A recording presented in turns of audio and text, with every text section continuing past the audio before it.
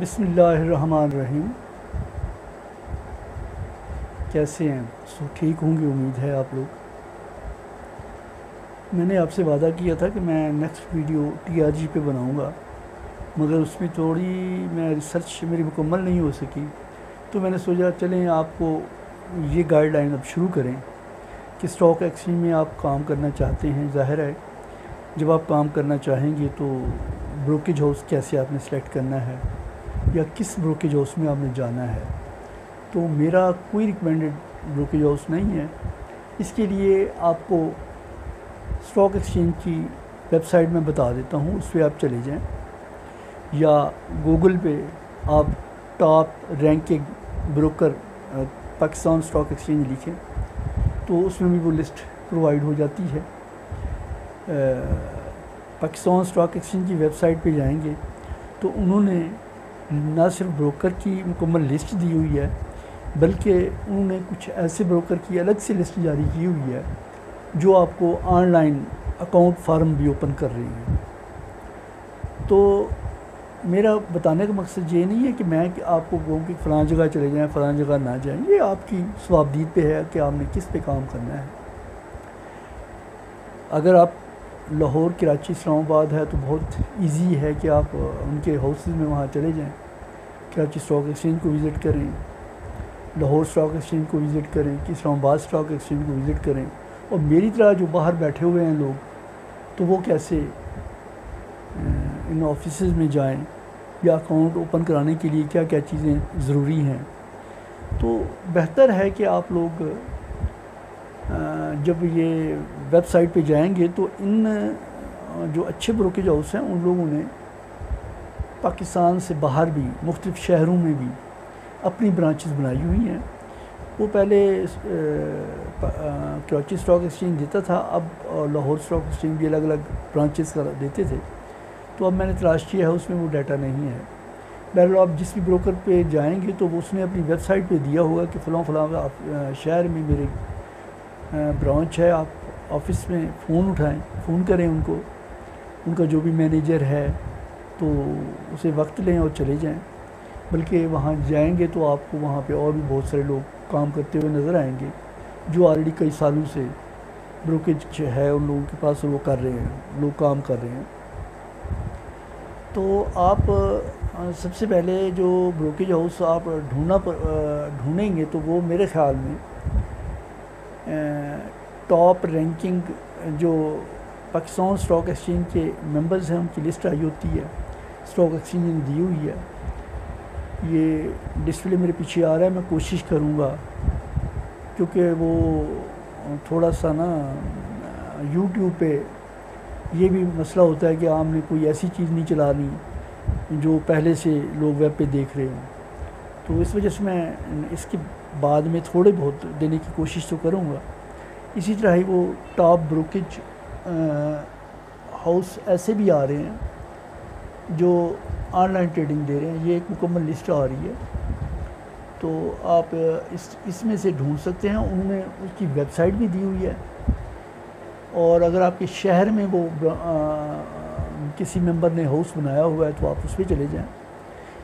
तो मैं आप लोगों को बताना ये चाहूँगा कि आजकल पूरे पाकिस्तान में फॉरेक्स और पाकिस्तान स्टॉक एक्सचेंज के ऑफ़िस तकरीबन हर प्लाजे में लोगों ने खोल ली हैं। बल्कि मुल्तान में तो ऐसे ऐसे लोग आए जो बाकायदा उन्होंने ऑफ़िस बनाया सिक्योरिटी गार्ड रखे हुए थे। और पता ये लगा कि वो सिर्फ़ लोगों को लूटने के लिए आए थे। एक हाई टेक के नाम से भी आया था यहाँ पे। इससे दो तीन ऐसे और लोगों ने भी ऑफ़िस खोले थे, जो रजिस्टर्ड नहीं थे। स्टॉक एक्सचेंज या मेंबर्स के पास रजिस्टर्ड नहीं थे। लोगों से सिर्फ़ पैसे लेते थे और उनको जो नॉर्मल टर्मिनल होता है, जिस पे वो ट्रेडिंग कर रहे होते हैं तो ऑनलाइन आजकल हर किसी को मिल रहा है। वो दिखा देते थे, लोगों से पैसे लेते थे और उसके बाद उन्होंने कई लाख रुपए लिए लोगों से और रफू चक्कर हो गए। तो आपसे गुजारिश ये है कि आप अगर लाहौर, कराची, इस्लामाबाद में नहीं रहते और किसी बाहर शहर में रहते हैं जब आप किसी भी ऑफ़िस में जाएँ, क्योंकि आजकल हर प्लाजे में लोगों ने ये काम शुरू किया हुआ है। आप जिस प्लाजे में भी जाएँ जाए जिस भी जाएँ, एक तो मेन मेंबर की वेबसाइट पे देखें कि उसका ब्रांच यहाँ पे है। फिर आप फ़ोन करके कराची या लाहौर, इस्लामाबाद से भी कंफर्म करें कि आपकी ब्रांच यहाँ पे है। फिर आप ब्रांच विज़िट करें, वहाँ जो भी साहब हैं, बैठे होंगे, वो एक सर्टिफिके सर्टिफिकेशन होती है, उनको सर्टिफिकेट इशू होता है पाकिस्तान स्टॉक एक्सचेंज से कि ये ब्रांच ऑफ़िस हम डिक्लेयर कर रहे हैं। तो उसकी फ़ीस फूस होती है, वो तरीक़ेकार उन्होंने स्टॉक वेबसाइट पे दिया हुआ है। तो आप ये कंफर्म कर लें कि जो साहब जिस जगह आप गए हुए हैं, क्या वाकई वो ब्रांच रजिस्टर्ड है या उसके मेन ऑफ़िस में पता कर लें कि ये जनाब आपकी रजिस्टर्ड ब्रांच है, जहाँ हम, वो हमें काम कराना चाहते हैं। तो उसके लिए ये है कि आसान सा तरीका है, आप जाएँ, वो आपको फार्म देंगे। तो आप क्रॉस चेक जो है ना, इनके हवाले कर दें। पहले आप ये कंफर्म करें कि ये जो ऑफ़िस है, ये रजिस्टर्ड है। वरना आजकल तो हर हर प्लाज़ा जहाँ भी लोग, कोई एक बंदा थोड़ा सा हौनो है उसको, वो जनाब दफ्तर खोल लेता है ऑनलाइन लेता है और लोग उससे पैसे लेने शुरू कर देते हैं। और फिर वो उसको पता तब लगता है जब वो बंदा दफ्तर क्लोज़ करके निकल चुका होता है। तो इसलिए बेहतर है कि आप अच्छे ब्रोकेज हाउस के साथ। अच्छा और जिन लोगों ने यहाँ ऑफ़िस खुले हुए हैं मुल्तान में दो तीन हैं मैं आपको ऑफ़िस भी विज़िट कराऊँगा इन बहावलपुर में भी हैं कोई डी जी खां में भी एक आधा बना हुआ था मुझे अब नहीं पता वो है, है नहीं है। तो वो सिर्फ़ फैसलाबाद है सरगोदा है पिशावर है। तो ऐसे शहरों में बड़े लोगों ने, बड़ी ब्रोकेज हाउस जो हैं, उन्होंने अपने ऑफ़िस बनाए हुए हैं, आप लोग जाएँ। कमीशन का कोई मसला नहीं होता। पैसे के आपका सिक्योरिटी का कोई मसला नहीं होता। अगर आपको ब्रोकर बर वक्त पेमेंट नहीं करता टी प्लस चल रहा है हमारे पास सिस्टम यानी दो दिन बाद क्लियरिंग होती है। अगर वो आपको पेमेंट नहीं करता, आपकी शेयर ट्रांसफ़र नहीं करता तो समझें कुछ गड़बड़ है उसके लिए। फौरी तौर पे आप एस या Pakistan stock exchange office website दी हुई है, उन्होंने डाटा भी दिया हुआ है मुकम्मल। उस पर आप कंप्लेंट भी कर सकते हैं और फौरी तौर पर यानी अपना रिलीफ भी ले सकते हैं। तो ऐसा जो ब्रोकेज हाउस हैं उसके लिए तो मैं आपको यही कमेंट कर रहा हूँ कि पाकिस्तान स्टॉक एक्सचेंज की वेबसाइट पे जाएँ। वहाँ पे टॉप रैंकिंग लिखें कि टॉप रैंकिंग ब्रोकर तो वो एक लिस्ट आ जाती है, गालबन छब्बीस सताईस अफराद की आ जाती है। तो उनमें से लें तो बेहतर है। बाकी मैं ये नहीं कह रहा कि बाकियों के पास ना जाएँ, बाकी माशाल्लाह उन्होंने एक और लिस्ट भी दी हुई है कि जो ऑनलाइन सर्विस प्रोवाइड कर रहे हैं। ऑनलाइन आपको फार्म दिया हुआ है, आप उनकी वेबसाइट पे जाएँ, फार्म लें, फिल करें और उनसे रबता हो जाएगा। अगर आप अपने नाम पे, अब तो ये सहूलत भी दी हुई है कि अगर अगर आप घर बैठ के करना चाहते हैं और सॉफ्टवेयर आपके पास शायद थोड़ा बहुत चलाना जानते हैं तो वो आपको ऑनलाइन सॉफ्टवेयर भी इंस्टॉल करके दे देते हैं। आप बेफिक्र हो जाएँ, इसके लिए नहीं कि आपको सॉफ्टवेयर करना नहीं आता नो कोई प्रॉब्लम नहीं है। उनके जो आईटी के बंदे बैठे हुए हैं, वो कराची में बैठे हैं, लाहौर में बैठे हैं वह यहाँ आप छोटा सा एक और सॉफ्टवेयर होता है, आपने करना होता है, और उसके बाद उनको कंप्यूटर हवाले कर दें, वो यहाँ इंस्टॉल कर देंगे। यानी आप मुल्तान में बैठे हुए हैं, पाकिस्तान के किसी फैसलाबाद में हैं, गुजरावाला में हैं, गुजरात में हैं, जहाँ भी हैं तो वो आपको अपना सॉफ्टवेयर कर देंगे, आइकन बाहर निकाल देंगे, आप उसे लॉगिन करें और अपना काम करें। अगर आपको थोड़ी बहुत ट्रेनिंग है, अगर नहीं है तो फिर थोड़ा सा किसी से पूछ के, किसी के पास कुछ दिन देख के, फिर करें। तो उसके लिए मैं एक नेक्स्ट वीलॉग में थोड़ा सा बताऊँगा तो सही स्टॉक कैसे होता है। बहरहाल ये भारी भरकम सॉफ्टवेयर है। आप इसको ज़रा देख के करें कि कुछ रूल्स रेगुलेशंस भी हैं कि आप बाद में परेशान ना हों। इसलिए बेहतर है कि आप जो भी ब्रोकर सेलेक्ट करें, वो देख के करें। उनको कोई मसला नहीं होता। आप जिस ब्रोकर के हाउस जिस ब्रोकर का आपको फार्म मिलता है, उसी ब्रोकर के नाम आप चेक, क्रॉस चेक उसको दे दें। वो पचास का दे दें, लाख का दे दें, जैसी भी दे दें। तो उसका कोई मसला नहीं होता।